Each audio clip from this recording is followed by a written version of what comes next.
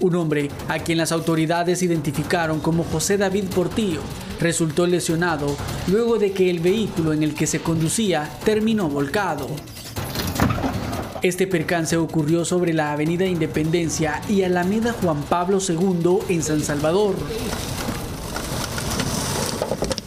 Las primeras investigaciones indican que el conductor del vehículo perdió el control e impactó contra una baranda que separa los carriles y después contra un poste del alumbrado eléctrico que terminó derribado y los cables de energía quedaron sobre la carretera.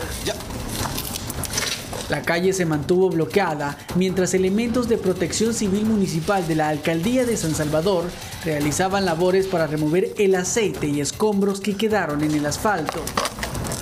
Pero ese no fue el único percance ocurrido durante la noche. En la colonia Moidán, en Sensuntepeque, Cabañas, tres personas resultaron con múltiples lesiones. De acuerdo con un informe de los comandos, las tres víctimas viajaban a bordo de una motocicleta cuando un perro se les atravesó y provocó que cayeran de la moto. Los lesionados fueron dos menores de edad y un adulto quienes fueron trasladados a un centro asistencial. Imágenes de Cristian Rodríguez, William Trujillo, TCS Noticias.